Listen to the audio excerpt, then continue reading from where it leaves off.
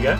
Good to go. What is going on, guys? And welcome back to another one of these special wrestling retrospectives. Myself, Scott Crusher, Matt from Keep On Collecting. Thank you, guys. Oh, We are back again. Cheers, Cheers, mate. mate.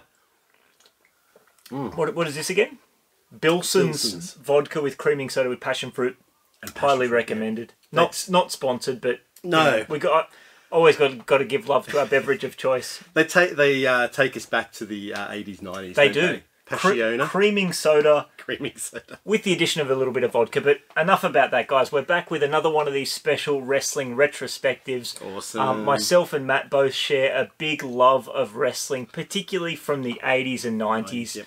Uh, you know, mid late 80s, first half of the 90s for me. Matt uh, continued a little bit longer than that, but Yep. but this is like our definitely you know the the sweet spot for our love of wrestling. Yeah, crossover. That's that's absolutely to it. We we did this once last year with WrestleMania four. Yep. We had a fantastic time doing it, so we're back to do it again. But this time we're doing it with an event that's a little bit closer to my heart. We're talking, of course, this one right here, Royal Rumble 1992. Remembered by me very, very fondly. On a personal note, for me, it was the very first WWF event of any kind that I ever watched. The first pro wrestling event that I watched. My introduction to pro wrestling Yep. and just a fantastic show. And I think I'm probably lucky in a way that this was my introduction to wrestling because What a way. the the event itself, Yep. the storytelling of the show, the cast of characters really captivated me. Uh, it was Mm. Like in- a peak almost of, of WWF at the stage just before. I guess we got into uh, more gimmicks for the mid 90s, but before Attitude, this was kind of the tail end of. Well, these a lot of these classic wrestlers that well, I grew up with, you've grown up with. Absolutely. yeah, Absolutely. And I, I remember fairly vividly, considering I was only eight years old, being at the friends, uh, being at the home of the friends of one of my parents, like, you know, sort of family friends. I, I wasn't really that close with the kids. Uh, I hadn't, I'd only met them a couple times before, uh, but they were watching Royal Rumble 1992 and I had On no. TV. Uh, on TV. I, I don't know if it was a recording. I mean, it was in 1992. Yeah. I don't know if it was live. I, I can't remember, or if they had a tape. Obviously, back in the nineties, tapes took quite a while to hit video stores Yeah. or hit retail. Um, so I couldn't tell you if it was live or if it was, uh, you know, a recording of it. Mm-hmm. Um, but I was fixated. I was hooked, and I, I became a wrestling fan in one day. From there, I was all over the WWF magazines that you might be able to catch a glimpse in of, and of, and of course these beautiful, colourful Hasbro wrestling action figures that just perfectly capture that era. So, very, very excited to talk. Look at you reminiscing. Very excited to talk Royal Rumble 1992 with this gentleman next to me Ah. and and you guys watching. We certainly hope you enjoy. So, Yep. um, before we rip into it, Matt, when was last time you saw it? When was the first time you saw it? Yep. Do you have memories of it that go back to the 90s? I do. So I think I first seen it in the nineties. It would have probably been a couple of years. I was laid up in bed with a broken leg, needed to watch some wrestling, and I just delved back into my childhood. Ninety two Royal Rumble was one of those tapes. So I must have seen it probably about ninety five mid. wow. yeah, okay, so that would have been the first time you saw it? That was probably the first time I saw it, and then since then I think I've seen it twice more. More recently, probably about five years ago, Yeah. And it is a great Rumble. it is. And Yeah, the way Rumbles, it's the way aged, you remember them. it's aged well in my opinion. In my opinion, it still holds up. So if it's an event that you haven't seen, uh, obviously we're going to provide spoilers as we go through this, but definitely recommend you giving it a watch because in my opinion, it's it's aged really well. But it was also a product that was very much geared towards kids at the time, which I was. So 100%. yeah, you were. absolutely. But even as an adult, um, when I was watching it back in the nineties, I remember just go, I remember that guy, I remember that guy. So it was, I totally enjoyed it, and I what probably mid twenties when I first seen it. yeah, But it's great nostalgia, all those For old sure. characters. For sure. Now we're going to be referring to notes, guys. A lot happens during this event, so we, we will refer to those, um, and but but we'll go off them at times. So if if we we get into it, so a, a bit of context. It's the fifth annual Royal Rumble. Correct. Uh, the first one was in 1988, Yep. uh, and then you know obviously we had we had four prior to this, but it is the first time that the, the Royal Rumble match has stakes. Uh, it, Mm. obviously, a Royal Rumble is a battle royale format, 30 men over the top rope, Yep. uh, two men start. Man, man enters every two minutes, a- minutes until all one, 30 yep. are in there, and, and uh, the last man standing is the winner. But Mm. prior to 1992, the match itself had no stakes apart from the glory of winning the match. Bragging rights, really. Absolutely. Yep. But for 1992, we've got a vacant WWF title. The reason for that, we had Survivor Series 1991, and this Tuesday in Texas, The Undertaker and Hulk Hogan traded the belt back and forth. Mm-hmm. Uh, there, there were some controversial circumstances there. Ric Flair, who had just made his arrival to the WWF as you know the self-proclaimed real world's champion Yep. from the NWA, NWA, yep. had kind of inserted himself into the title picture by offering up a bit of outside interference in both of those title matches. Mm. In return, uh, President Jack, Tunney yep. declared the title vacant, and it would go to the winner of the 1992 Royal Rumble. So big stakes, High and stakes, and that absolutely elevated the match. Hundred percent, yeah. So we, I think it was it took place uh, in Knickerbocker Arena, Okay. New York, Albany, Albany, New York, Yeah, yep. I think the the crowd was 17,000, 19th January, nineteen ninety two. Uh, and the event itself kicks off in a pretty awesome way. We've got that amazing intro music. Vince We've got Vince with his just- deep voice hammering with out that that, intro. awesome voice hammering Yeah. out all the competitors that we're going to see throughout the course of the event and uh, and we also get some beautiful crowd shots and i said this about wrestlemania 4 and i'll say this about Mm-hmm. 1992 i love the crowds of that era Oh, they're fully into it. Like you compare them with crowds of 2023, these guys are into it. Cheering so many children, yeah families like parents with their kids, signs, absolutely and everyone's getting pops. Whether And- you're a goodie and- or a baddie. and they're really emotionally invested but they're Yes, they are. but they take it for what it is yeah, they're, that's right. they're not they're not like smart marks as the expression goes now Yeah, that's um, right. they're, they're really into it uh, and and it's just awesome to see i love it It's a bit of an age age of innocence, really, back in tho- those pre-internet, pre-social media. yeah, Yeah, yeah, pre-attitude era. Yeah, absolutely. Changed everything. So yeah, everyone's Absolutely. into it. It's like pantomime theatre almost. One hundred percent. It really is theatre, and we've got an awesome commentary duo as well. We've got Gorilla Monsoon Yeah. and Bobby the Brain Heenan. Probably my favourite commentary duo. I, I know you're a Jesse Ventura guy with I with am, Gorilla. But Bobby is he fills that role of Jesse Ventura very well. Perennial. I'm going for the baddies. The baddies are never wrong. Look at the baddies. And Gorilla's going for the goodies. yeah, Gorilla is is kind of the well-meaning uh, play-by-play guy, Yeah. and Gorilla Monsoon's fantastic at elevating an occasion. Correct. Yeah. and Yep. and Bobby the Brain's just a fantastic storyteller and Yeah. uh, and championing the bad guys, and I love it all the time, absolutely. bagging out the good guys whenever he can. So within three minutes of the broadcast getting underway, we get into our first match of the Straight evening. into it, yeah. Straight into it. No backstory on why these guys are fighting. No backstory on this first match of the night, and the first match is a tag team match. We've got the new foundation, Jim the Anvil Neidhart, uh, Owen Owen Owen, Hart. Rocket Hart, Yep. taking on the Orient Express. And I've got to say, as as these guys are making their way to the ring, I'm not super enthusiastic about either of these tag teams. The Orient Yeah. Express is not really a known commodity to me as far as I remember. Yeah. The new foundation, I'm kind of looking at it as a little bit of a, a poor man's Hart foundation, but we've gone from the iconic pink and black to the check bandanas and parachute pants, which is just all wrong to me. Yeah. Okay. I'm, I'm not into it, but I will say that it is a decent very, match. very 90s. It's very 90s. Yeah. It's it's super 90s, but as much as I'm not super enthusiastic about the match heading into it, I did quite enjoy it. I thought it was a, a pretty good match. I 100%. I like the complementary nature of the Rockets high flying stuff with Jim Neidhart's powerhouse stuff. Showcases the Rockets moves, doesn't it? Like when he um he get bounces off the top rope on his bum Yeah, and comes back in, and I'll just some of his moves, high flying stuff. You remember how good Owen Hart was. absolutely. Eh, It's a good match, and and Yeah. these guys are very good at what they do. You know, Yeah. the new foundation guys are, are, good at what they do.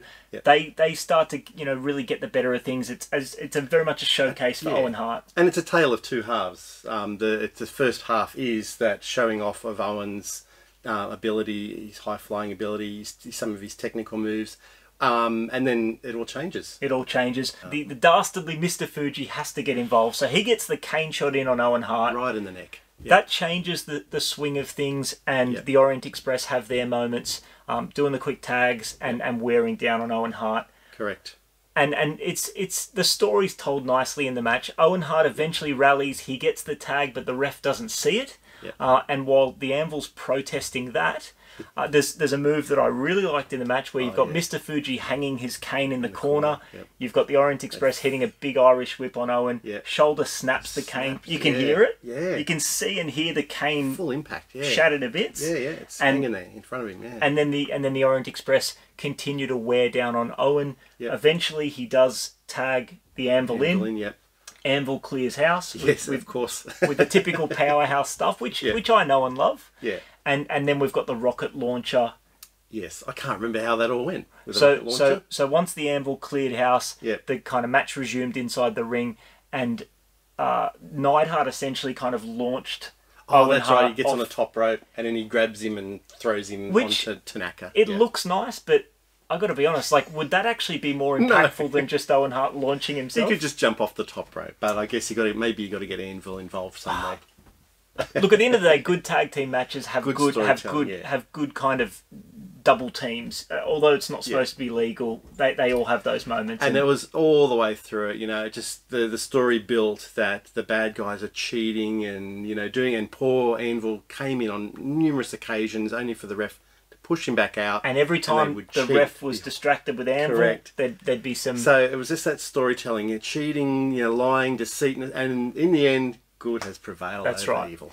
So the way I look at this match is, I wasn't that enthusiastic about going into it because I don't remember either of these tag teams particularly fondly. But the match itself, I liked. I thought it was good. No, I enjoyed it. Yeah, it's, it was a good storytelling, good showcasing of some talent. Very solid. The bad guys, Tanaka They and um. Kato, yeah, they did really well. Fuji had to get involved. So Good match. yeah, good match. So the next match of the night, we've got the Intercontinental title being defended by the Mountie up against Rowdy Roddy Piper.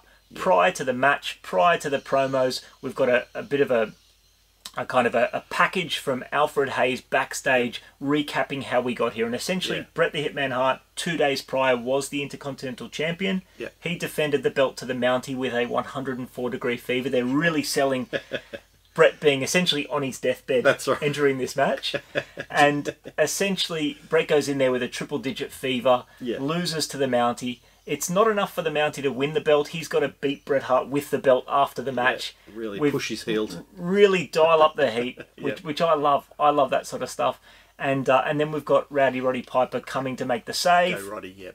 Mountie slides out of the ring, lets Piper tend to his friend Bret Hart. Hmm. Uh, but then while Piper's back's turned, the Mountie hops in there and gives Whacks him as well. gives Piper a whack with the belt as well. So you know, really building up the, the heat around the Mountie and building up the rivalry between the Mountie and Roddy Piper. Absolutely. After we get this little kind of summary package, we go backstage, or we're, we're still backstage, and we've got Mm. some promos from both guys. So interesting promos from both guys. We've got the Mountie with Jimmy Hart. Yep. Sean Mooney, another interviewer, having a chat with uh, the Mountie. Yeah. I can't remember too much what happens there, but um, The, the Mountie is talking about integrity. I'm going to take your well, he, integrity. he says isn't he says I'm going to take Piper's dignity. dignity.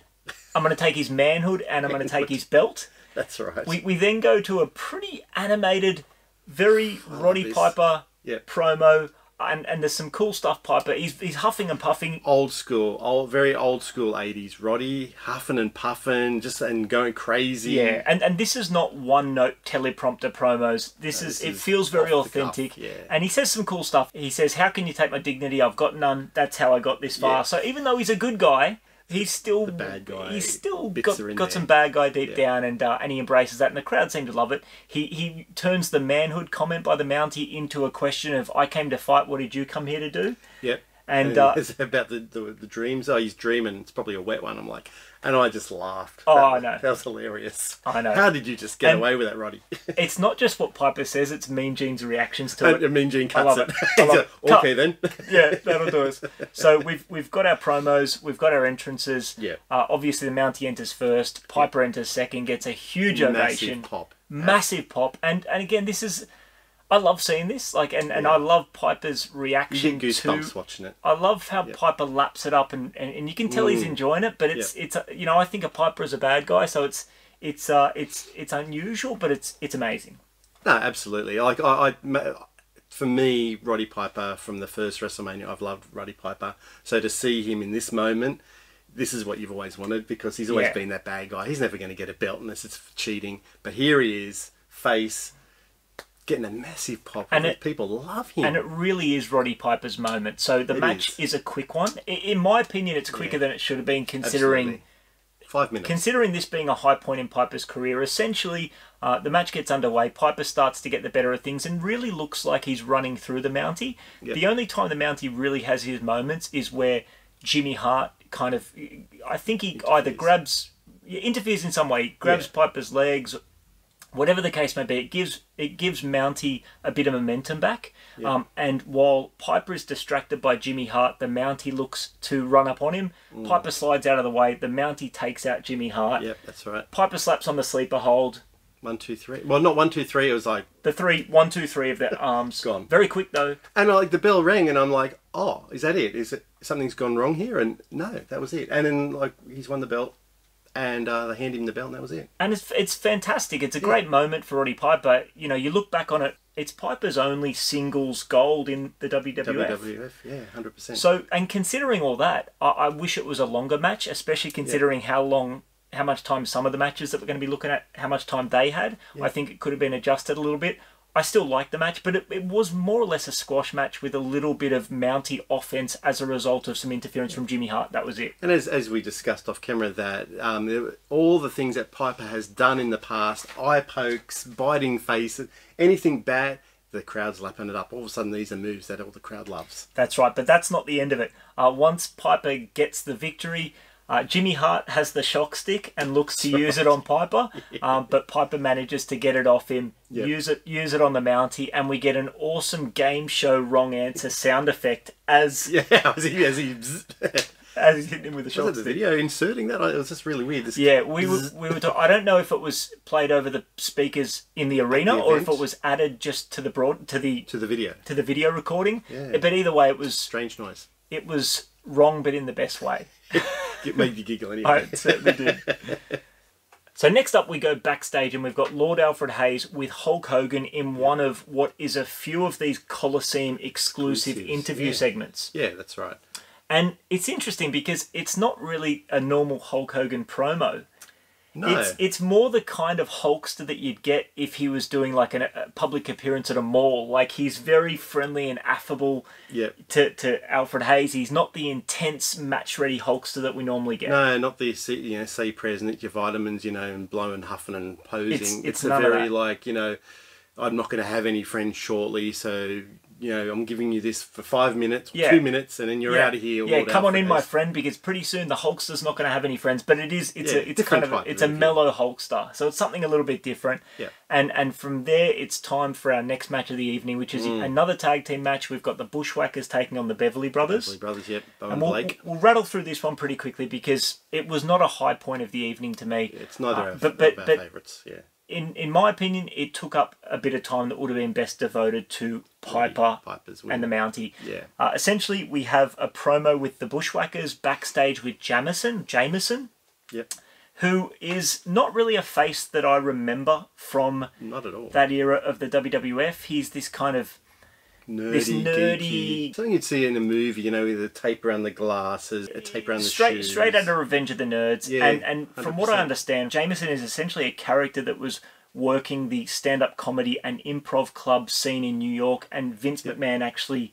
Uh, saw one of his shows live on a night out with friends and thought, "Hey, listen, let's bring this char- let's bring this Jameson character into the WWF," and that's what they did. Good on you, Vince. So, so we've got the Bushwhackers with Jameson taking on the Beverly Brothers with the Genius. Following Yep. the Bushwhackers promo, we get a poem with the Genius, and uh, Which didn't even rhyme. I, I just went. it "Oh, didn't okay." even rhyme.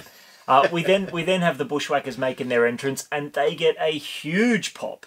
Uh, the Yeah. crowd are absolutely loving them. Oh, it's, which is good to see. Like these guys are perennial. Um, what do you call it? Jobbers or talent. yeah, mid mid carders. Yeah, best. so this is probably one of their highlights, I'd say, in the WWF.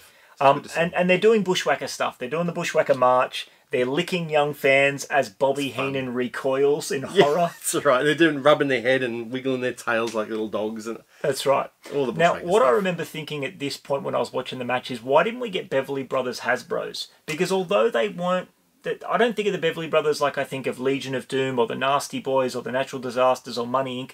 But Mm. they would have made great looking Hasbro's. Absolutely. Like, and you know, they would have had capes and the nice white tights, and they were around for a few years. So just a, just a side thought as I was watching this. Now, Mm. again, this match is longer than I thought it needed to be. Um, we have a lot of stalling. We have a lot of playing to the crowd. The, Yeah. the bushwhackers make their way into the ring really slowly. They do the bushwhacker march. They clear the ring. They play to the crowd, and it takes a good few minutes before the match And gets the underway. first time is good. I, The I- first I time like is the good. first time they r- march around the ring. The first time is Stomping. good. And then and then we get two or three of the exact same sequence, more or Mm. less. We get the Beverly brothers getting the advantage. We have the Bushwhackers uh, reversing through a, a bushwhacker move like a bite or, or a battering ram or something like that. They clear the ring and they do the bushwhacker march and play to the crowd. Yeah. And it's the same thing again two or three times. Two more times, I think it was. Yeah, and it just gets a little bit tiring. It to does. Watch. It does. They, yeah, as you said, they could have just cut that short by seven or eight minutes, given it to another match. They, they, they definitely could have. It sounds harsh. You know, my, my, my notes from this match is this kind of Yeah. like deja vu, rinse and repeat of the Beverleys getting the advantage, the Bushwhackers reversing, clearing the ring, marching, playing the crowd. It's the kind of thing that I would have loved when I was eight years old watching it. But Yeah. as an adult now, even though I still watch this through the lens of a kid because you know that that's this is the era of my childhood, I'm still getting a bit over it. But essentially. Action finally resumes. The Beverleys get the other hand, get the upper hand. They're working over Luke with quick tags. While this is happening, the genius sneaks up on Jameson, smacks him like Will Yeah. Smith at the Oscars, and uh, and you know Jameson kind of It's like, oh no, what what did you just do? Oh. yeah, it's it's it's weird. Um, I'm I'm over it at this point, but anyway, uh, the Bushwhackers get, kind of have their moment. They get the upper hand. There's a double team from the Beverleys, and while the Bushwhacker that's outside of the ring, whether it was Butch or Luke, is protesting, um, they they- they double team the Bushwhacker that's inside, the ring. yeah. We've got one of the Beverly brothers holding, the other one hitting the axe handle from the top rope Yep. and getting the pin. So the Beverly brothers win this match. Again, Yep. 17 minutes or so. How, what did you count Um, this? 15 minutes? Fifteen minutes it was. Just 15 under minutes. yeah. Longer than it needed to be. Uh, But even though the Beverly brothers win the match, the Bushwhackers have the final say. That's right. They, they, get back the in, they, genius. they, they clear the Beverleys out of the ring, Yeah. they get their hands on the genius, and Jameson gets gets his uh, gets his payback, which again is just It's lame. is overblown, is oversold. You know, it's Jameson like winding up, you know, again and again and again, trying to play up to the crowd. And Bobby, Bobby in the commentary's like, he can't even hold his fist like this. He's holding his fist like that. I'm going to hit him like this, and but Brain's given him, and, him a and, and, mouthful. and fair enough, like wind up for the crowd once or twice, but he does it again and oh, again and again before eventually kicking the genius in the shin. And it's him in the shin. look, it's it's fun. Like it's a it's it's a fun match to position in the middle of the card. It's something for the kids, but it just, in my opinion, it goes for too long. When the when the when Roddy Piper winning the Intercontinental belt had five or six minutes, this shouldn't have fifteen. The only thing I can think of, actually, I thought about this later, and I should have mentioned earlier, was the reason they, they gave, I think, Piper a short match was he was going to enter in the Royal Rumble, and maybe just to prevent injury or a good tiredness. point. They probably just let's cut this one short. He can spend a long, and he did spend a long time in the Rumble. So That's a good that point. I, I hadn't considered that, but you're probably right because that story was being sold by the commentary team throughout the evening. Is Piper's pulling double duty? He was the Yeah. only wrestler that pulled double duty. Yeah. None of these tag team wrestlers made their way into the Rumble. Yeah. And like you said, he had a good stint in the Rumble, as we'll get to. Yep. Um, and you know, the, there's the story about how he has the chance to end the night with both belts. Two belts, yeah. So yeah, I mean, he was probably never going to get a 15, 20 minute match. Correct, That, that, yeah. that does make sense. Yeah. So next up, we have our final match before the Royal Rumble match, which is the main event. So we've got the co-main event, and it's Yep. it's another tag team match. A lot of tag team matches on this card, and we've got the WWF Tag Team Champions, one of my childhood favorites, if not my favorite childhood tag team, the Legion of Doom, Oh, really? I didn't know that. defending their Excellent. belts against the natural disasters, Yep. earthquake and typhoon. So we start with a backstage promo from the Legion of Doom. It's Yep. their typical intense delivery. How do they not have sore voices? I know. They are screaming into the camera. I know we've we've got the you know what a rush. We've got all the usual sound bites. Uh, we've got a comment about you know natural disasters want to throw their weight around. That's fine. We don't mind throwing their weight around as well. So That's right. This is just a match between four big strong dudes. Very, yeah. and uh, and it, look, it's it's it's nostalgic for me. I love both these tag teams. Like I said, Legion of Doom were my favorite tag team from my childhood. I had two pet mice in 1992 that were named Hawk and Animal. Really? Yeah. That's So so yeah, I, I loved them. I was big into the Legion of Doom. We have the entrances, and one thing that I made a note of that was really cool.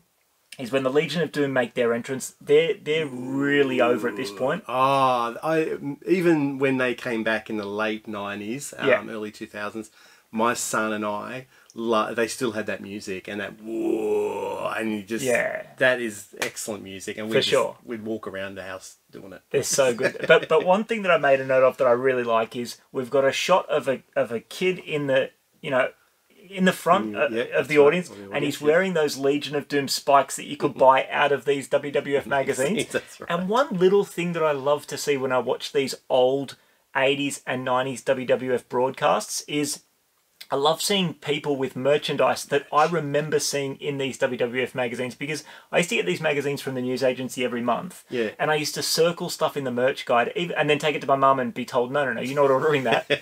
uh, I think it, I think eventually I managed to get a, a pair of those um, cheap kind of uh, Bret uh, Bret Hart's pink Oh, yeah, sunglasses yeah, out of the WWF magazine. But I, I love those LOD spikes. So to see a kid in the front row with those was awesome.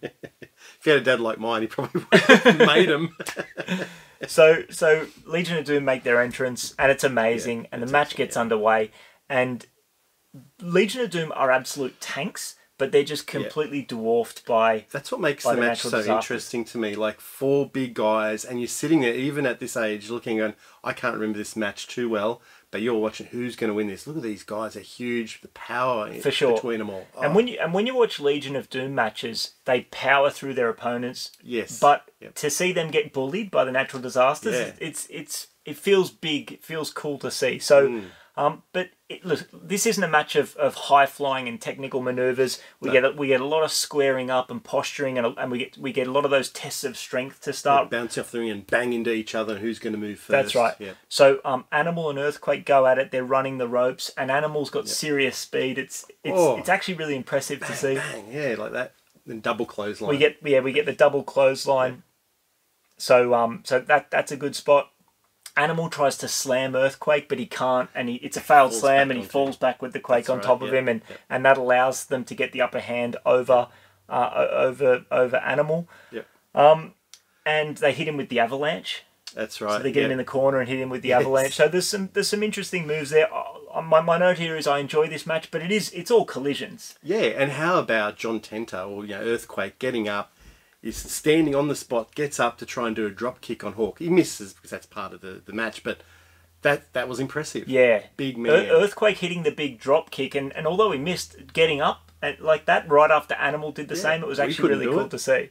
Um, so basically, Hawk gets tagged in. He has his moments, but just like Animal, he starts to get worn down by the natural disasters. Yeah. We have the earthquake put him in a bear hug, Bear hug, and we have the earthquake doing that move where like he walks over him, like Yeah, steps, over him. on top of him, and yeah. I watched that like he's not holding onto the ring rope, so he's, not he's not his full weight on. yeah, which which Yeah. is pretty crazy to see. I mean, you you, you can't really 400 fake that. And I mean, Earthquake's probably billed as what four hundred pounds yeah, plus. I mean, yeah. whether he weighed truly four hundred pounds, who knows? Because I know a lot of the build weight tonight's are ramped up, but Yeah. there's no way that guy's less than.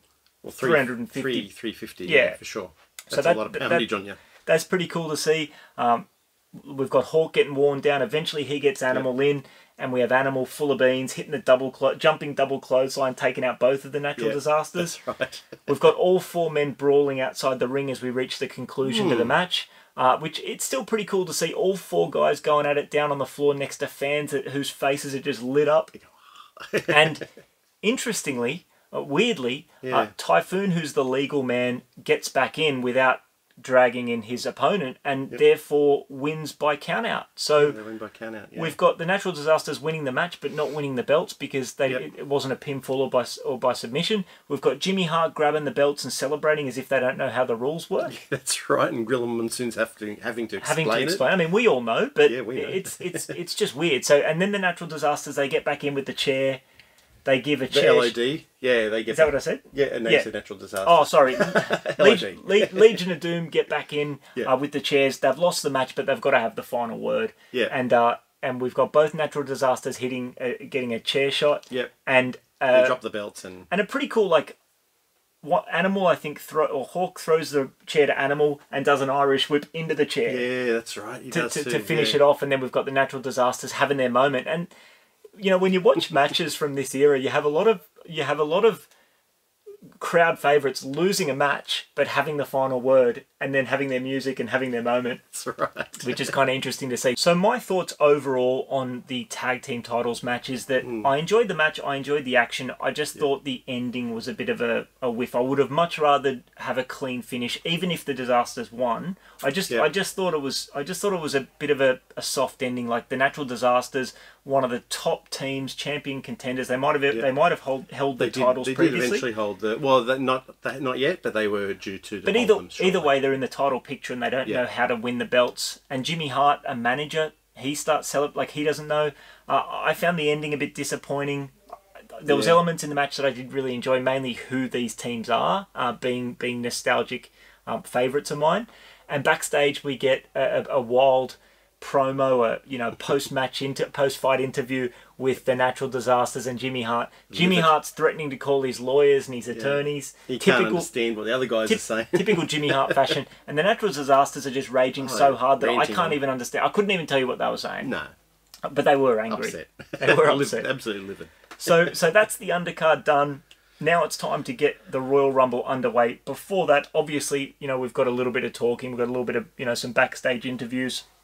First up, we've got Roddy Piper with Mean Gene Yep. celebrating his title, and it's it's it's awesome, man. Yeah. Um, he, He's happy. dude can act. I mean, it's th- there's no wonder he made his. He was one of the few guys to make his way into regular films. and hence why he's so popular. Like he's transitioned into films. I think at the end of '91, he's he's turned face. Yep. Due to the popularity from his films and just being a mainstay of WWF. Absolutely. And this is his shot, and he's he's happy. Celebrating the Intercontinental Belt, pledging to go all the way and have 29 guys falling down like President Bush. Yeah. Which is obviously a reference from 1992 that, that I, I can't place. But either way, it was an awesome promo. Then we've got Sean Mooney interviewing Shawn Michaels. Mm. Now, the Rumble was a week after the famous barbershop incident was aired on TV, where Yeah. the Rockers, the tag team, the Rockers split. We had Shawn Michaels double cross his tag team partner Marty Jannetty, super kick him, put him through the plate glass window in a really iconic interview segment, one of the most memorable ones of my childhood.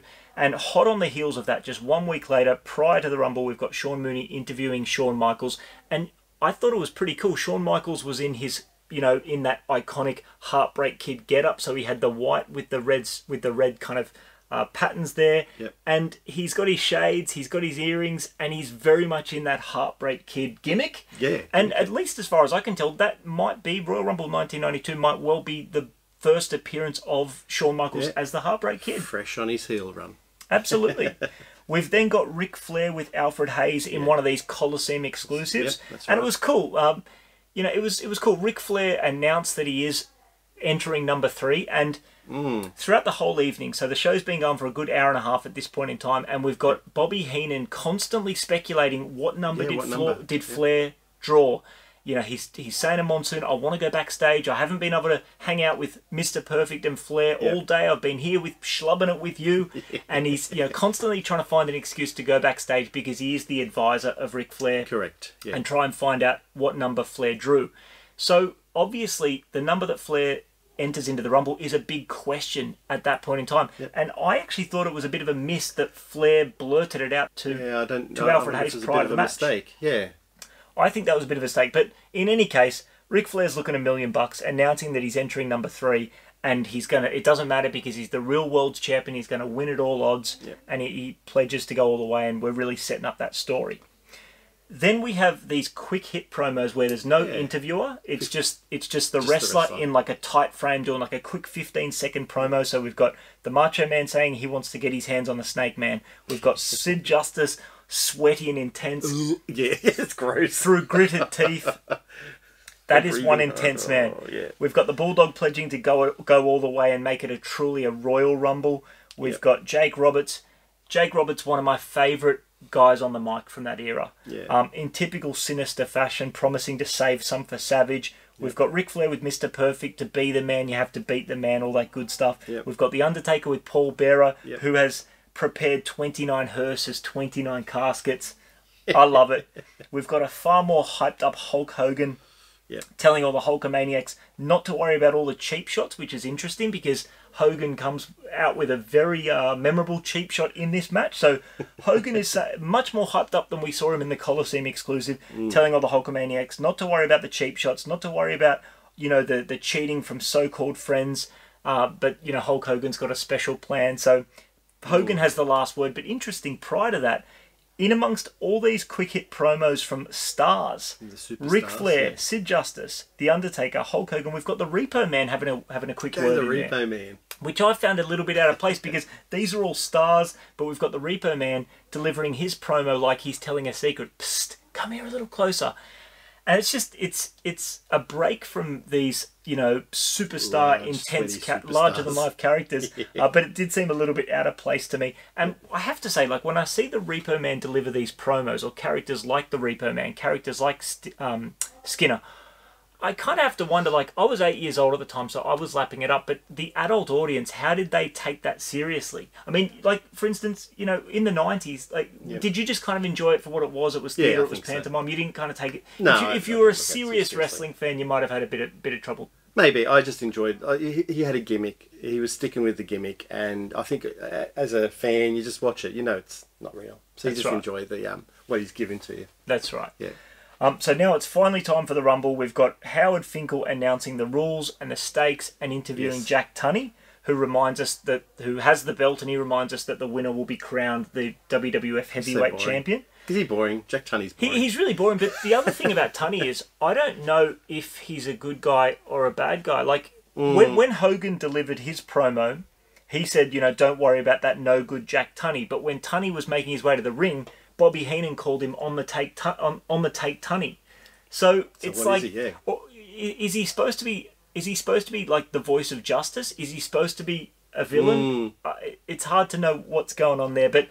Uh, or maybe it's just like a referee in a football game where neither team no likes one him. likes him. That's right. Yeah, yeah. So the time for talk is done. It's time for the Rumble to get underway. So we've got some big names coming in right off the bat. Entering first and second, we've got the British Bulldog and Yep.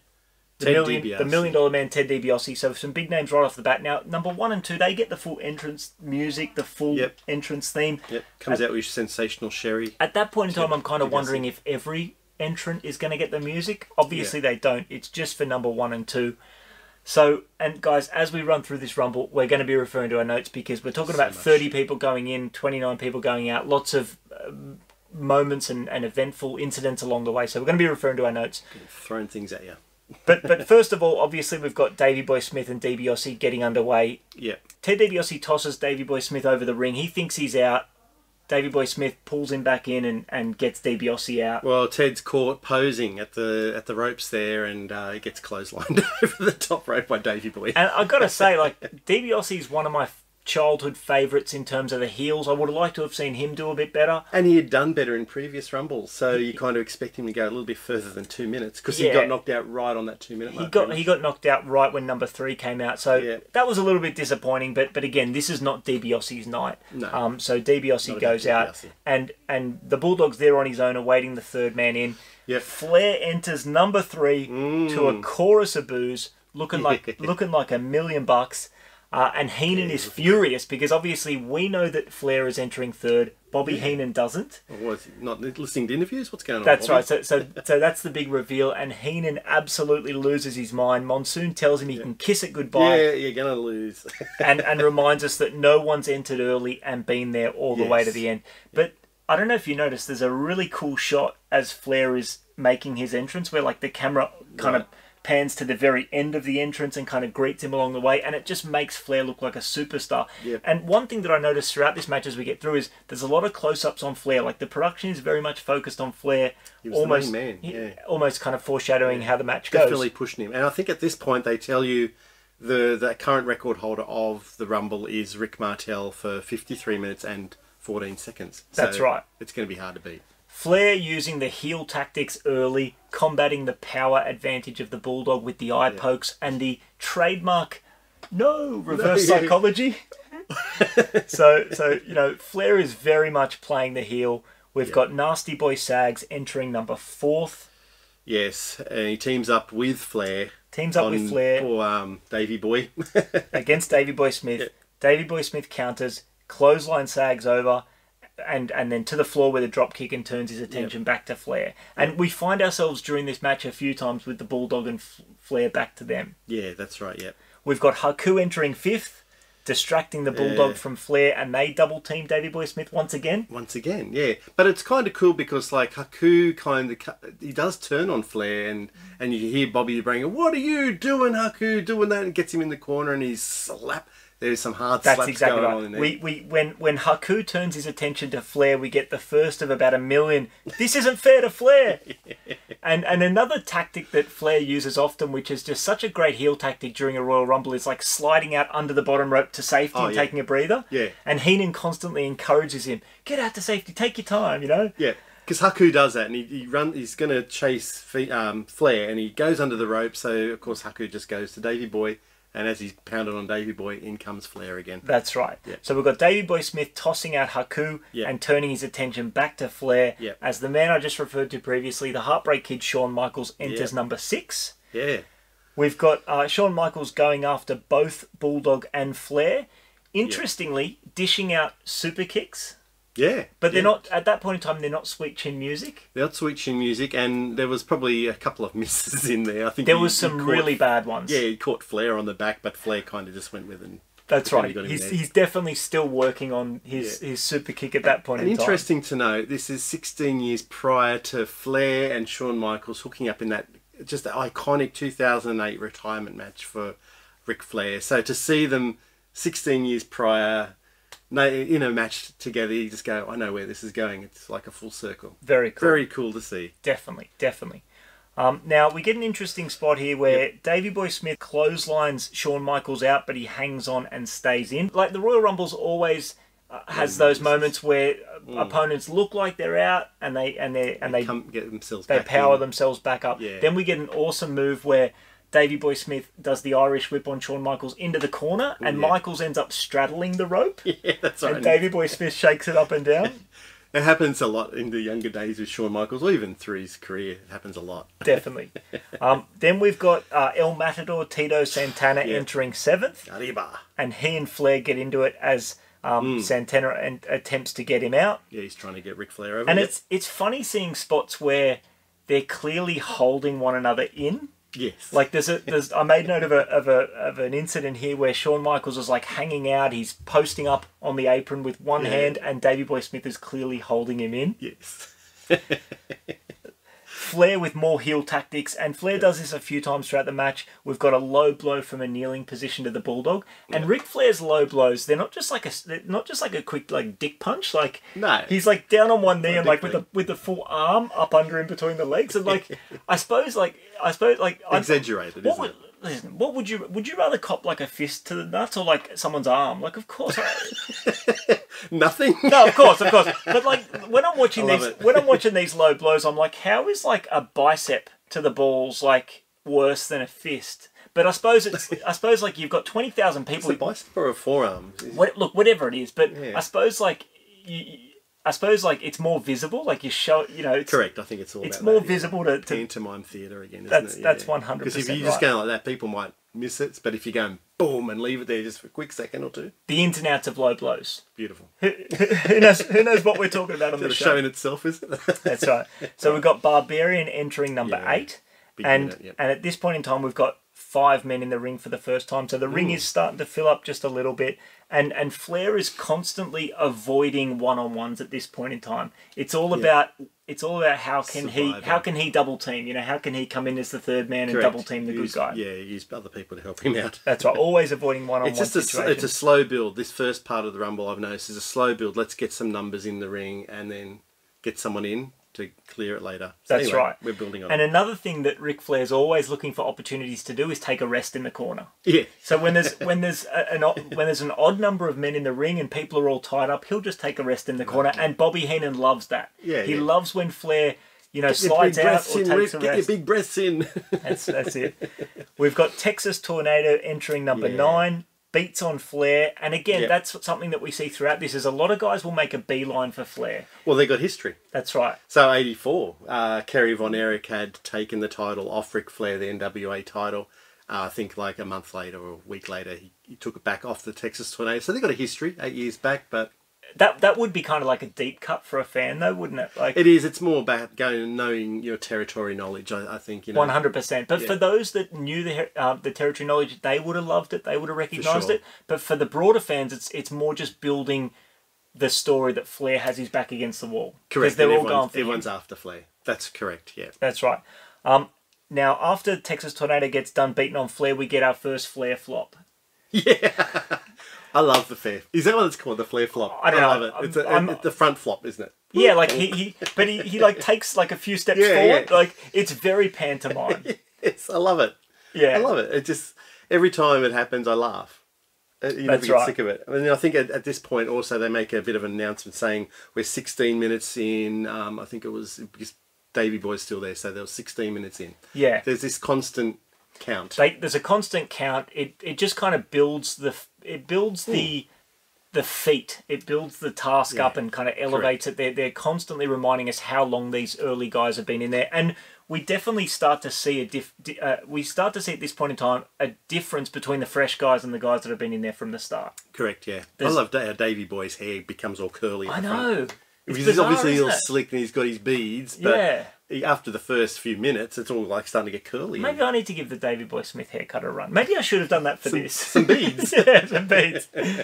Uh, so, so now we're up to number ten. So we've got Yep. Repo Man entering number ten in typical pantomime style. He's sneak. Creeping. He's creeping his way up to the ring, Mm, and we've got seven in the ring at this point. So it's starting to get chaotic. Yeah. We've got Flair again with the double teams always. So at this point in time, you've got the Barbarian holding the Texas Tornado to allow Flair to come in Yep. with the reverse knife edges. Flair always looking for opportunities to double team. We've got Greg Valentine entering 11th. 11, yep. Straight after Flair, and then of course more history from the territories.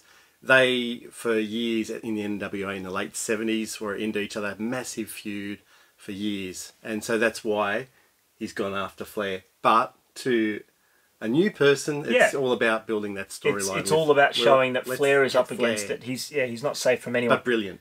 Brilliant. Excellent. Yeah. The story is, is told and it's sold through the commentary team beautifully. Mm. Yeah. We've got Nikolai Volkov entering 12th, and now we have nine in the ring. Flair's copping it from all angles.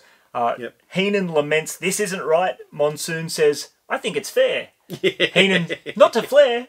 I, I love all the this. I love Those all the two. this isn't fair to Flair, and, and Heenan and uh, and Gorilla Monsoon work together just beautifully. Greg Valentine slaps a figure four leg lock on Flair, and Yeah, uh, he. Heenan almost has a coronary. We've got no, no. it's brilliant. Now, Repo Man has an interesting little run here. Now, remember. Repo Man, he got himself a promo along with the superstars just before the match got underway. And he gets two back to back eliminations. So Repo Yeah. Man dumps out Valentine Yes.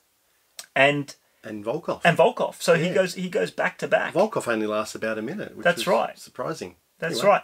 And one thing that I noted here is um, we've got number thirteen about to enter the ring, and every Yeah. time every time we get to that final 10 second count, the crowd are chanting. Yeah, 10, 9 and it, the buil- countdown. and it builds that anticipation, and, Yeah. and we don't know who's coming each time. So there's That's that what we used to love about the Rumble. there's that unpredictability of it. Uh, number thirteen is of course the big boss man. He sprints down the aisle Yeah, and, yeah. and unloads on everybody. No one's Yeah, safe. e- everybody in the ring, who I think is like eight or nine others, just goes around to each individual one, bang, bang, bang, bang. He gives it to everyone. great.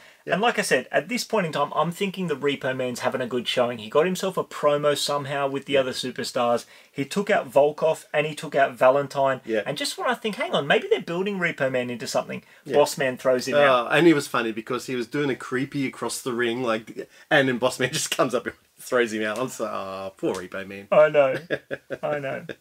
Um, now, So seven left in the ring at this got, stage. yeah, we've got Yeah. seven left in the ring, but here we have a quick turn of events where where a lot of people go out. So Flair tosses out Davy Boy Smith and Texas Tornado back to back. Yes, yep. yep. So, you know, he's worn down, he's tired. Uh, Heenan's championing his cause, but he's still a threat. We see him get two eliminations back to back, and a bit of a shame to see Davy Boy Smith go out. But now Yeah. that means Flair has been in there the longest out of everyone. yeah, now Flair's the man, yep. Um, and after getting those two back to back eliminations, he takes a rest in the corner as Shawn Michaels and Tito Santana take one another out. Yeah, because there's five left in the ring. So as you've mentioned, as soon as there's an odd number, Flair's having a rest. That's right. And of course El Matador and uh, yeah, what's who's Shawn Michaels there? Just fall out of the ring. Yeah, so like Three Shawn left. Michaels kind of tosses out Tito Santana and goes Yes, after him. yes, and and yeah. the interesting thing there is it's actually a little bit of a disappointing showing from Shawn Michaels because we've got him breaking out into a singles competitor. Correct. We've got him getting the love with the promos and so on. But he the only person he eliminated was Tito Santana and that was like a double elimination. Yeah, so yeah, no, I guess it just, as you said, wasn't his day.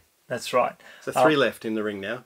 So we've got Hercules entering 14th and going Yep. straight after Flair, just like at this point in time everybody seems to do before turning his attention to the boss man. Now Flair does something here that he does a couple times. He, he does like a high five to try to like build an That's alliance. right. Yeah, yeah. So With Barbarian. So he gives Barbarian Yeah. the high five, and then when his back's turned, he hits the yeah, Barbarian. that's right. And Mo- Mo- Gorilla Monsoon calls it out as a, as a sucker punch, but then as, Yeah. as Barbarian turns his attention to, to Flair, uh, he uses the reverse psychology. You know, the no yeah, backs up into the corner, but then Barbarian hits him with like the big press slam. yeah, that's right. Yeah, the big gorilla. Is that what they call it's called? Gorilla Yeah. press slam. Something. Well, I Anyway. think I'm not too sure. I was trying to work that out myself. Like Yeah. the Undertaker, uh, the Undertaker, the Ultimate Warrior did the gorilla press, but he was like he Yeah. would just kind of like throw it up and get out of the way, whereas Barbarian Oh, yeah. kind of slams him down. Yeah, true. But but whatever it is. Flair's getting hit with like finishing moves. You know what I mean? Mm. He's, he's at this point in time, he's had a figure four leg lock on him. He's been press slammed. Um, he's been super kicked, although Yeah. not not really not, convincingly. not really. and then the barbarian, he's he's trying to get Ric Flair over the top rope. Hercules pushes them both, o- like pushes them both. Flair hangs on, and the barbarian's gone. That's it. So we're just down. We're just down to Flair and the Big Boss Man at this point. Well, yeah, well then um, I think the big boss, so Hercules has done that, but then the big boss man comes straight in and pushes Hercules over. So then you're back down, yeah, you're back down. But but I think but I think it, it looks like Flair thinks that the boss man's out. he does. So, he's so he kind of thinks "Yeah," he like thinks this. yeah like uh, uh, but then he turns around and the boss The man's boss staring straight at him. Yeah, that's right. So it's just those two. Yeah. So yeah, so obviously boss man unleashes on Flair. Yep. Heenan's coming out with beautiful comments. He's saying I need oxygen, you know, like he's going to pass out. Yeah. So At one point, Bob- Bobby's saying, "I need to go down there and help him be by his side." And Yeah. Gorilla's like, "You sit right you down stay here. You got a job to do. You're a broadcast journalist. because obviously uh, Heenan always declares himself I'm a broadcast journalist. It's so good. Um, now at this point in time, we've got Yep. Bossman trying a running move on Flair to take him out. the flying elbow Flair ducks, Yep. and and Bossman. Flair doesn't actually eliminate the boss man. It's his own momentum Yeah, that kind of takes him out. Flies over the top ring. anyway, yeah. That's and then- right. So and then and then so Flair's in there by himself, himself, yeah. does a big Flair flop. Yep, and he's, he's he's sucking in the big ones. He gets up and you can see he's sucking the big ones, and that's when Bobby's like saying, "Come on, get the air into you, get the air Yeah, into take you." a breather, Rick. Slide out to safety. And then the countdown. Ten. Counts down to counts down to number fifteen, and who's coming in? It's Roddy Your boy.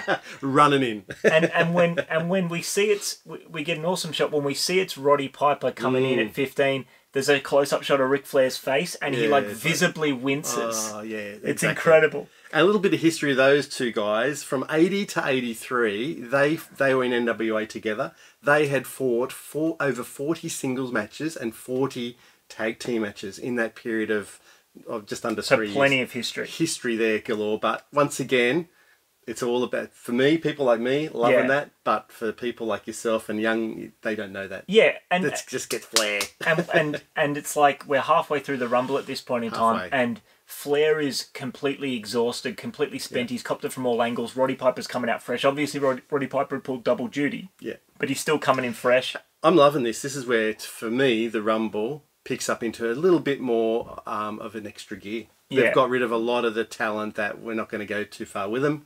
Now let's get the. This is the business end. That's right. Um, but Flair slides out to safety, so Roddy Yeah. Piper has to actually go and toss him in, Yeah, so he can, right, so he yeah. can, so he can get underway. Um, and and just really goes after him, throws him back in, drops punch. He does that spot where gets him into the corner, stands up on the middle rope, and starts dropping punches as the crowd count. Yeah, but it didn't last long. And then, like, uh, Flair saw it after, I think it's five or six. Flair grabs him and does an atomic drop on him. But, but Roddy no sells it. He didn't. Yeah, What's going on? what's going on? Anyway, it's fun. I mean, maybe his manhood was taken. Bloody Mountie. yeah. Um, and at this point in time, so we've got Piper getting him up in like a fireman's carry, doing Yeah. the airplane spin. Yeah, that's- and then slapping a sleeper hold on a Yeah, disoriented yeah. dated Ric Flair. I thought uh, uh, there was a moment in there where I think Flair adjusted. Uh, you could see maybe he had on too tight and he kind of adjusted the arm so he wasn't actually choking him. Oh, oh, well, I remember thinking, oh, that doesn't look like a particularly tight sleeper hold. No, but it, it must have been a point where it wasn't. Yeah, for or sure. it was uncomfortable, so he's kind of moved his Sure. arm. But when the sleeper holds on Ric Flair, Heenan's like sobbing Mm. at that point in time. It's it's brilliant. Another finishing move. That's another finishing move.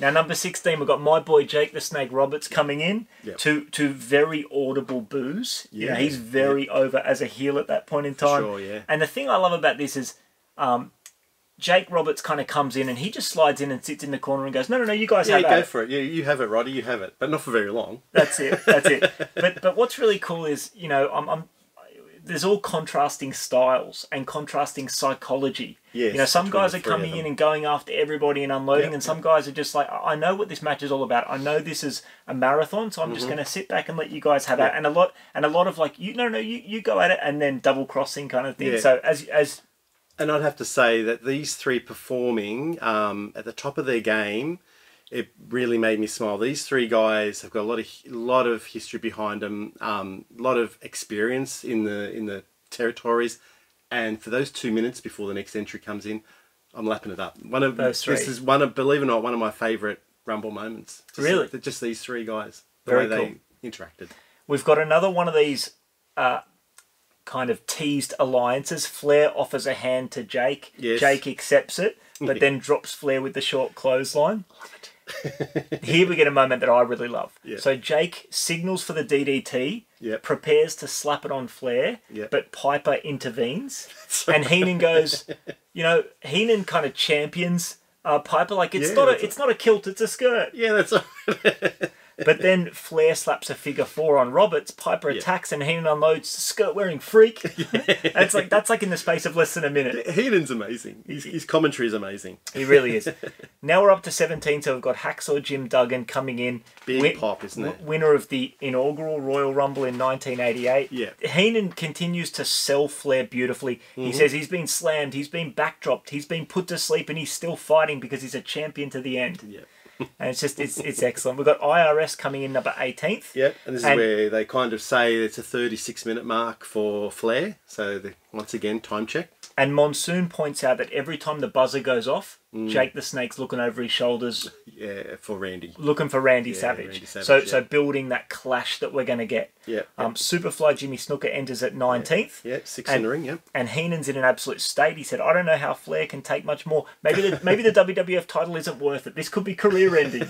A couple of big headbutts by Jimmy Snuka, and I really thought Jimmy and Roddy may have a moment because from dating back to the 80s when he cracked a coconut, Coconut, on yeah. uh, Jimmy Snuka's headbutt, there's no real interaction there. I mean, but seeing the response that Piper's got and the the crowd favorite character that he is, we're pretty far removed from that Roddy Piper. Yeah, I think so. Exactly right. I think that was a bit of a different era for WWF. We're moving into a new era with Flair. Let's focus on Flair and uh, what he's going through at the moment. So it, it's, it's a good call. for sure. Yeah. So at this point in time, the next person to come out is number twentieth, and we get Monsoon, Gorilla Monsoon, telling us that we're now up to the point at which the Undertaker and Hulk Hogan could come out. Mm. Because that Yep. was one thing they didn't mention to us on the broadcast prior. At least if they did, I missed it. Was Yep. that because Hulk Hogan and the Undertaker were the former champions who Yes. vacated the belt, who Jack Tunney, you know, vacated the belt from.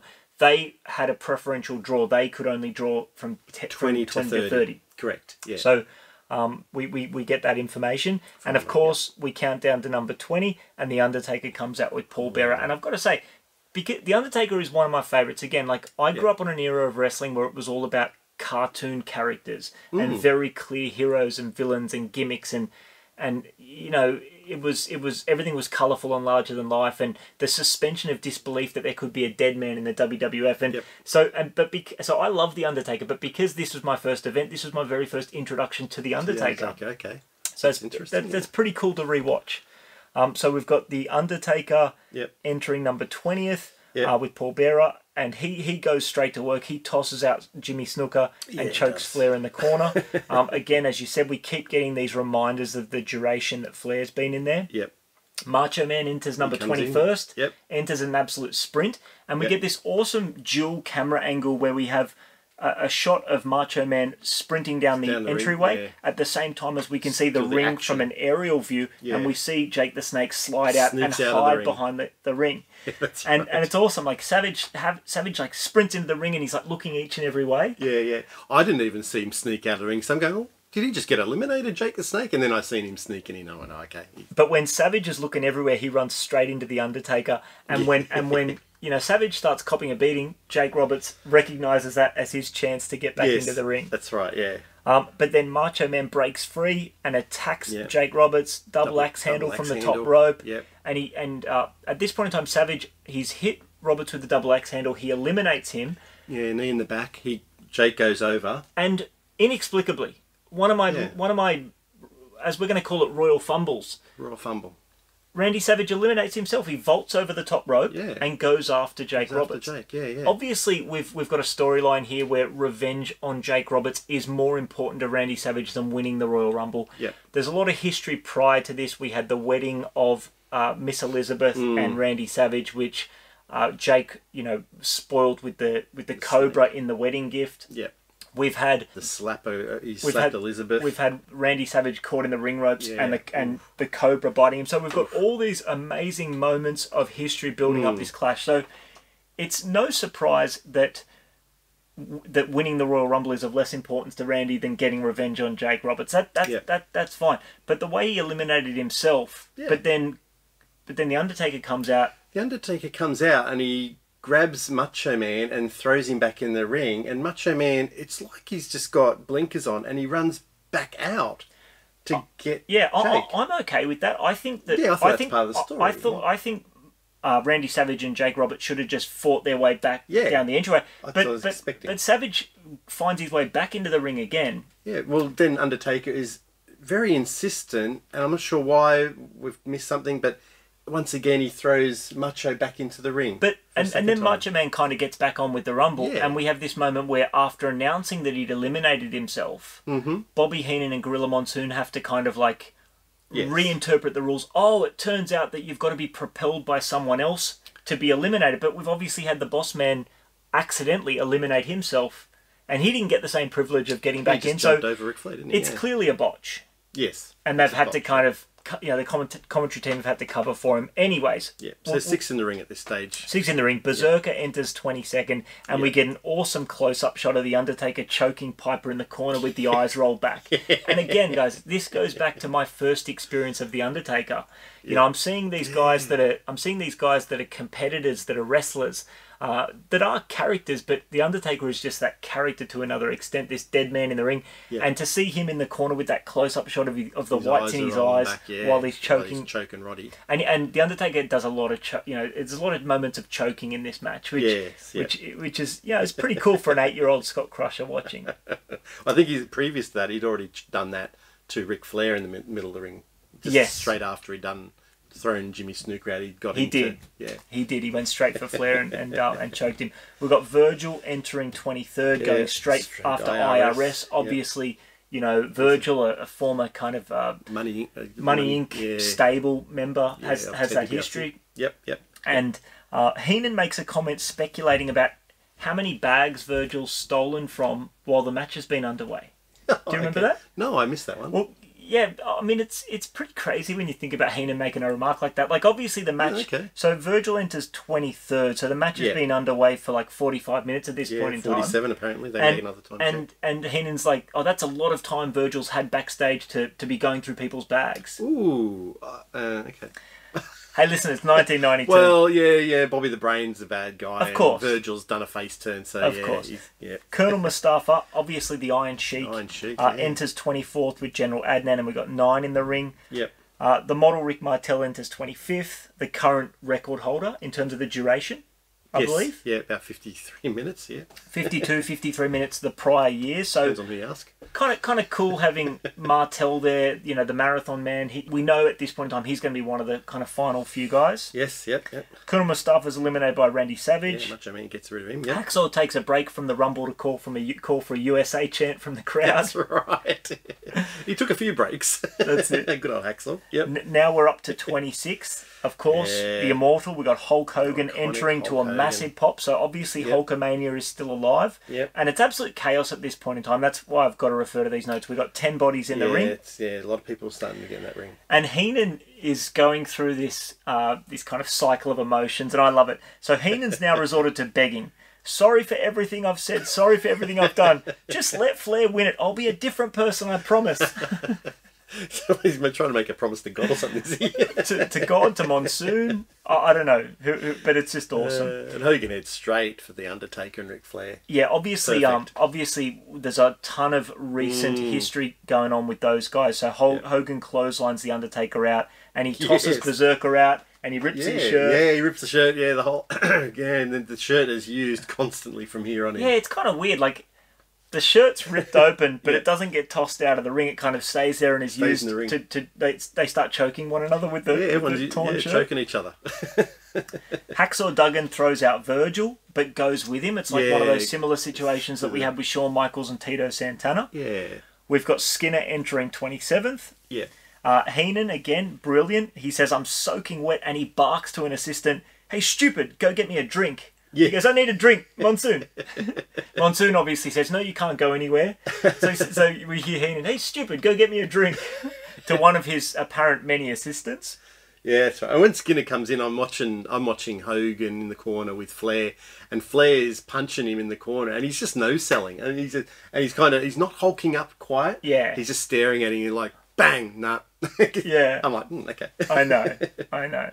Um, so we've got Sergeant Slaughter there in 28th, Number and at this point in time, yeah. just just think about some of these iconic wrestlers that are either at the top of their game or not far from it, all competing at once. It's we'll talk about it at the end when we kind of sum up our impressions of the Rumble, but just the the, the cast of characters and and real superstars here is incredible. Yeah, Skinner gets eliminated by uh, Rick Martel, That's right. and it's announced that yes, Ric Flair is now the record holder of being in there, being in there the longest time in all the Royal Rumbles. That's it. Um, we've got number 29, Sid Justice entering, getting a huge pop. Yeah, like he was over. He was absolutely over. And Monsoon actually, you know, Gorilla Monsoon makes a mention. He calls out, you know, you know, he's the crowd's going wild for Sid Justice. He's a he's an uh, big big man, like uh, ominous character, like a big framed. He's fucking jacked. He is fit. He's massive. Like it's the best you can. Like you see Sid throughout his wrestling career. This is the best that he's. Yeah, I mean, he's yeah, he's young, but he's looking great. He's huge. yeah, And he and he's sweaty and he's intense. And even though he's obviously a crowd favourite at this point in time, there's there's a scariness to him. yeah, yeah. He's, He's always, and especially coming in number 29. well, he comes back as Psycho Sid, so he's always got. He's always on edge. But- Sid's always been on edge. being the being the star at that point in time that he is, Mm. him coming in 29th, you, know, you you have to be watching this thinking, okay, Hulk Hulk Hogan's here, Sid Justice is here. It's probably going to be one of those two guys. Yeah, yep. Then uh, Heenan demands that a camera stay on Flair at all times. Says Flair must have lost over 10 pounds. Uh, Warlord, character. that's right. Warlord enters 30th. Yeah. Um, and Sid Justice Irish whip Slaughter into the corner over and out. So Sarge goes out pretty quick. Yeah, I was so, so super surprised. And that was, um, I've never seen Sarge. He was quite agile. They've thrown him quite hard, and Yeah. he's just gone, that's the corner. He's gone straight over the, that's the corner, not just the middle ropes. No, the pole, like the Like, corner post. Wow. Like, Yeah. Anyway, yeah, yeah, into the cor- into the corner to then propel out. It was Yeah. it was pretty crazy. yeah. Um, We've got Hogan uh, hitting Flair with the big boot to the kisser. Now I know Yep. I know that the big boot's not Hogan's finisher. Uh, technically, the leg drop is, but it's a lot of like you know real kind of big moves or finishing moves Yeah, that Flair's yeah. copped at this Lead- point in time. up to the leg drop. Yeah, that's right. That's right. So we're down to six. So we've got Flair, Piper, Savage, Hogan, Sid, and Martel. Correct. Yep. And and realistically, I think Martel maybe not because he was the model Rick Martel. He was a bit of a side character at this point in time. Yeah. But realistically, at least five of those guys could believably have won the Rumble the, at that yeah, point be in time. yeah. I know. Champion. That's right. Um, so, but then it, it gets down to it real quick. Sid tosses Yeah, out both. Martel and Piper together. Yeah. Piper had been in there for more than 35 minutes, and I'm a little bit disappointed to see him go. Yeah, I am too. But yeah, you already had the intercontinental. He already had the IC belt, and he, it's, he's still been one of the stars of the show tonight. Yeah, he had been. It's a massive, massive. Uh, I don't know. For him, a pay, this pay per view was a lot of, of Roddy Piper. That's right. Yeah, so now we're down to four. We've got Yep. Flair, Sid, Savage, and Hulk. Yep. Ric Flair and Sid combined to get Savage out of there. So we're down to three. Yep. Uh, Hulk kind of puts Flair over, but he doesn't kinda put him out. on. He kind of Yeah. slides under, and Yeah. then Sid pounces and takes advantage of the opportunity to of- dump the Hulkster. Now, Hulkster out. from what I understand, like kind of going into this, there was an alliance there between Sid and Hulk. Like that they were on the same team to a certain extent. Yeah, that's right. I uh, that's what I agree with too. Well, I only read that later, but yeah, they Yeah. were supposed to be on the same. Had a bit of an agreement, and to be backstabbed by Sid, Yes, he was livid. but but apparently, from what I've read, the crowd actually cheered when Sid eliminated Hogan. They did, didn't they? But but when I watched, I don't know about you, but it it almost was it cheers in the, in in the version we watched, because Mm, that from what I understand, yeah. the crowd in the arena actually booed when. Sorry, the crowd actually cheered when Hogan went over. when Hogan went out. yeah. But apparently, some versions of the broadcast have been have been booed, changed, piped in boos when Hogan went out. Oh, okay. Yeah, uh, there's a bit of controversy around that. Oh, okay. Anyways, Hogan's out. He's absolutely livid, Yeah. and I don't really understand how. I mean, it's an every man for himself situation, but obviously Hogan is furious that Ah. Yeah. his championship's been taken away from him by Sid, and Grabs his arm. And he, he grabs Sid Justice's arm, Yeah. and Ric Flair uses that as an opportunity to come up from behind, and both of them effectively dump Sid out, and we've got Yeah. Flair. Number three, the real world's Goes champion, has gone all the way against all odds. Uh, he's been beaten from pillar to post. He's been put to sleep. He's been choked, all right still. and uh, and he's already in his forties at this point in time. oh, is he? Like Ric Flair is not Yeah, be about, in his twenties at this No, point. he's Ric, born in 49, so he would have been about 43. Ric Flair's had a ton of history at this point in time. Oh, yeah, he started So, in the 70s. so for him to do what he did and be in that age, I mean, it's it's pretty incredible. yeah, yeah, he wanted to be the man. Um, but really, it's a very uncharacteristic heel move from Hulk to pull Sid out. Like, that's one thing that I, I kind of remember about Oh, this okay, is yeah. like, fair enough. Okay, cool. We want to make it uh, Hulk Hogan's the man, and Sid. Justice is supposed to be his friend. Okay, cool. You shouldn't be because it's every man for himself. But be Yeah. furious, rant and rave. But he, but the fact that he actually interfered from outside Yeah. and effectively decided the rumble for in Flair's favour is very heel. I mean, it's a pure heel It move. is. I and at the end also, um, I'm a bit confused. Like uh, I see Ric Flair wander out, and I thought, and then Hulk Hogan comes into the ring, you know, and gives him a mouthful as he's walking away. And I'm going, why is like the, the last pay per view that we did, you know, WrestleMania four. Once again, Hulk Hogan has come in at the end and taken the limelight away from the person who's actually won. And I just, is this something that's quite common, quite common with Hulk Hogan? Yeah. Oh, mate. But this- I know later on it was a bit more to set up with Yeah. Sid. Sid comes in, he's still there. And Yeah, for sure. So, Everyone's so, trying to break him so yeah. So obviously, Flair wins the Rumble against all odds. Heenan is, ah, man, he's ec- ecstatic, man. He, he's he's excited. He's so gone. and so so at this point, obviously, Flair goes backstage. Heenan's still on commentary, uh, but yeah, we've got Sid back in the ring, Hulk back in the ring, and there's, there must be a dozen officials trying to keep them trying separated, to break him up. Yeah. really building that feud, and and you can hear, although they're not mic'd up, you can hear what what Sid's saying. You can hear him saying, "I'll kill you, I'll rip your head off." So he's Sid's very much playing to heel yeah, at that really point in time. it. Yeah, yeah, that's right. And I don't know. There was a few. This is where it's interesting about the jeers and the cheers. And there was a few people in the audience that didn't look like too happy with Hulk, and I could see Sid pointing to a few people Yeah. jeering Hulkamania. I- I- so what I read about that was I read that the response in the arena was very favourable when Hogan was eliminated. Yeah. But but some versions of the broadcast actually have boos when Hulk, Hogan's eliminated and cheers when Hulk pulls Sid out. So yeah, I, I don't know. Very like uh, I can't, to be honest, I can't quite remember from the version of the broadcast I watched which way it was. But I, Mm. I definitely I definitely remember seeing fans cheering when Hogan went out. Yeah, it'd be interesting if we could watch this. Yeah, You'd good probably point. Have, a, have a good version. But but look, in any case, Sid was very popular at that point in time. He you can was, you only have to see his uh, entry uh, to, to know how popular he is. So pop, yeah. I'm sure there's going to be some fans divided. But in any case, we- I just found the heel move really weird. But uh, yeah, Flair and um, Mr. Perfect are backstage at this point in time. with Bobby. Sid, Sid and Hogan have their big moments setting Yeah. up, obviously WrestleMania eight, which is why I've got this tape here. Yeah. And uh, and then we, we, we go to that backstage promo with, Bobby Tunney. Heenan, Mr. Perfect, uh, Ric Flair being presented the belt by Jack Tunney, Jack Tunney. Yeah, correct. and it, it's an incredible promo. This is what Ric Flair is so known for, just Yeah. getting into the camera and selling it, and just oh, he the way he just expresses himself, and it's just brilliant. Yeah, I mean, obviously, obviously, you've got the very famous "with a tear in my eye." This is the greatest moment of my life. One thing that I like that was kind of interesting is Yep. obviously uh, Flair's coming in and Heenan's already kind of advocating for him Yeah. being a champion because he's the real world's champion. He's come in with the big gold belt. But when Flair cuts the promo with the WWF title, he says, "This is the only title in wrestling that makes you number one." So he, Yeah. so he's basically elevating the WWF title, It's higher than where, yeah, when he came in with whatever he came which is with. really cool. Like, like it's he's not just yeah, Yeah. he's not just selling himself. I mean, but he, the, the fact that he elevates the belt and he says, "This is the only title that makes you the man," Yeah, yeah. and you'll pay homage to the man. yeah, and that's he's- right. Yeah, it was a it was a cool uh, cool promo. Definitely. And Yeah. then Mean Gene signs off and sends us to a highlight package of just Yeah. still shot highlights throughout the broadcast. And that is it. I'm sure we've been going for a very long time, but I'm having too much fun talking about this. So, Yeah. um, what a great event. Uh, thoughts? That Anything we haven't said already? Um, there was a few things, I, I guess, just behind the scenes. Like, uh, did you, I don't know if you noticed how Macho Man, when he was in the ring, he, well, as you've said, he brought very little to the Rumble itself. He probably should have fought fought Jake off, um, but there was no interaction with Hulk. They've had a Hmm. lot of history prior to this. You watch that Rumble match.